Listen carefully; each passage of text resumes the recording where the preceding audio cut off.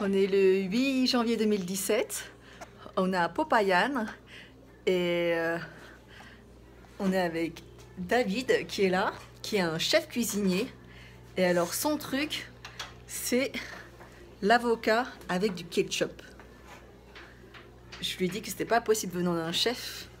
Et aussi son plat préféré, c'est du riz avec des œufs et du ketchup. Et c'est un chef, c'est un top chef. Alors je vais essayer pour voir ce que ça donne. Je suis pas très convaincue.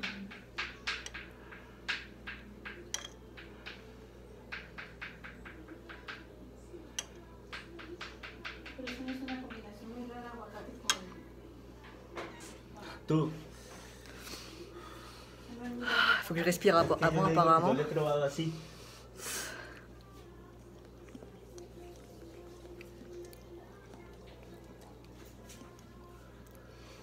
C'est pas mauvais, mais on sent surtout le ketchup avant de sentir l'avocado.